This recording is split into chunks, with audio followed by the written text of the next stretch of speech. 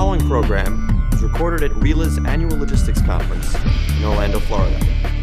I'm pleased to welcome Editor in Chief of Supply Chain Brain, Russell Goodman. Analyzing supply chain root cause damage.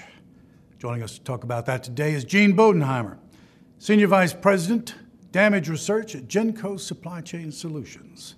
Gene, welcome. Thank you, Russell. Gene, what would you say is the primary objective in performing supply chain root cause damage analysis for a, a manufacturer or a retailer? Uh, Russell, typically it's to identify and eliminate those uh, causes, the root causes and drivers of damage throughout the supply chain from point of manufacture to point of sale. Now, I'm sure the one thing that uh, viewers of this video are going to want to know are what are the benefits that I'm going to derive if I have such an analysis performed? Typically, the benefits come in two forms. First, financial. Uh, as you might imagine, any, uh, any product that's damaged in the supply chain prevents the success that is intended for that product to make it into the shopper's basket for use or consumption at home. So uh, that is a, a negative impact from a financial perspective, both from the cost of the product itself as well as handling those damaged products, removing them from the supply chain. Uh, so anything that you can do to prevent damage to products in the supply chain will have a positive impact to the bottom line profitability. The second benefit comes in the form of customer satisfaction. Uh, damage in, in the supply chain is one of those components of customer dissatisfaction, whether it be from a manufacturer to a retail DC or whether it be from the retail DC to the store the store being the internal customer of that retail DC. So if you eliminate the levels of damage, you improve the level of customer satisfaction for you. Is there a standard approach that you take when you're doing this type of analysis? The, uh, the Six Sigma DMAIC approach, which is uh, lends itself very well to this process. The uh, first step being define the issue or design the study.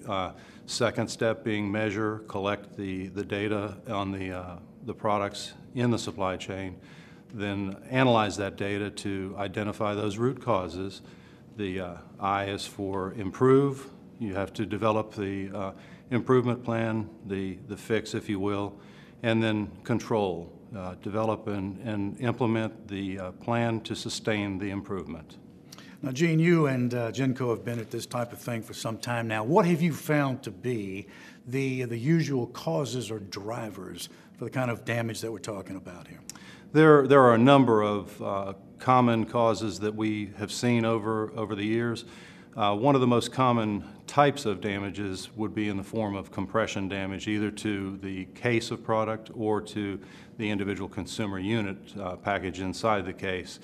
And that compression damage can be caused by many different uh, factors, starting with the, uh, the pallet or platform that the, the product is unitized onto to begin with.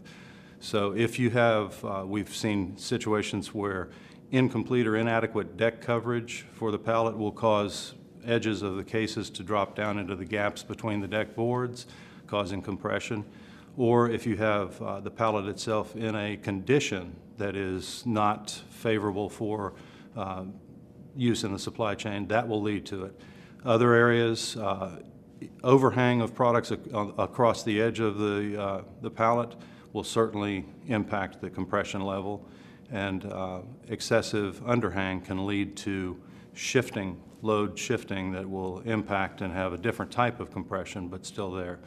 Um, the other, the other factors uh, within that compression arena can be the type of uh, stretch wrap application, whether it's done too tightly, compressing things, or too loosely that allows products to move and uh, impact each other. Um, some of the other forms, uh, as you may be aware, 75% of the strength of, of a corrugate case is in the four corners of the case. So misalignment of cases within the stacks in a unit load has a, a dramatic negative impact on uh, the ability to withstand compression. So those are just some of the factors. Uh, you, you have other, other instances where uh, you may have excessive stacking heights, and that can come in two forms. You can have uh, a corrugate case that is designed with a maximum stacking height on any individual uh, stack. And uh, uh, we've seen numerous cases where the, the height of that exceeds the, uh, the, the strength of the case. In other instances, we've seen plainly labeled on the cases that they're designed for unit loads to be stacked no more than three high, four high in a floor stack situation in a warehouse. And often we'll see where they will exceed that because they have space, they have clear space uh, in the, in the warehouse, so they'll stack them five high.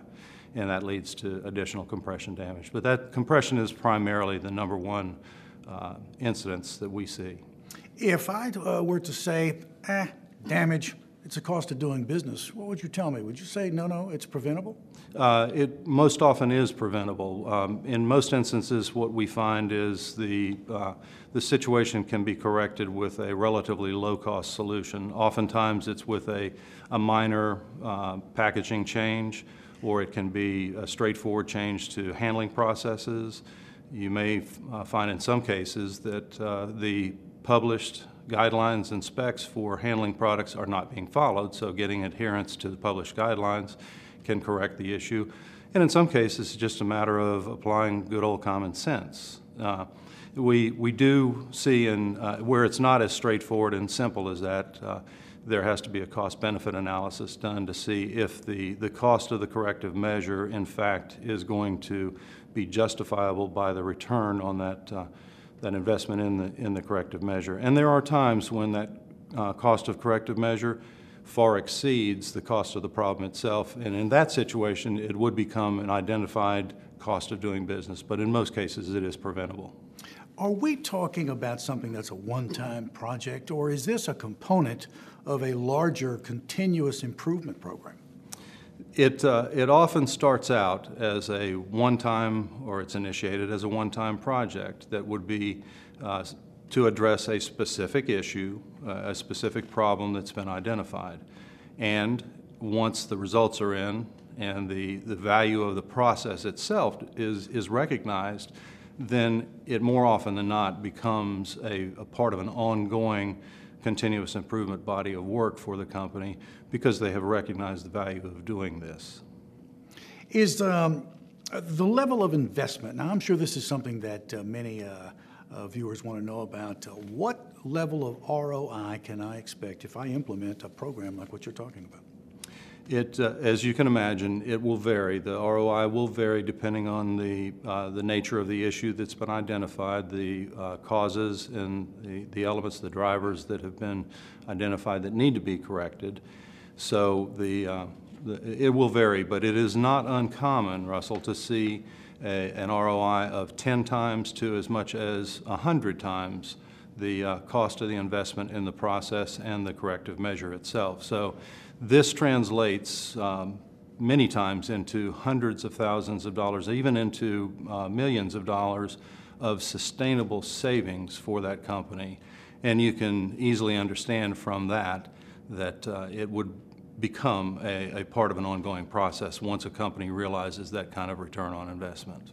Well, Gene, this has been a fascinating conversation. You may just have saved some company a lot of money. We, uh, we, that's what we're in the business to do, is to help identify ways to save money and increase profits. Well, thanks for being with us today. You're welcome, Russell. Gene Bodenheimer, Genco Supply Chain Solutions, speaking with us today about analyzing and preventing damage in the supply chain. Thanks for watching.